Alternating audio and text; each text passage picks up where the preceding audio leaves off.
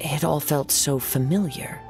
Uh, just to circle back for a second, are you sure you haven't been eating anything suspicious that makes you see things that aren't there?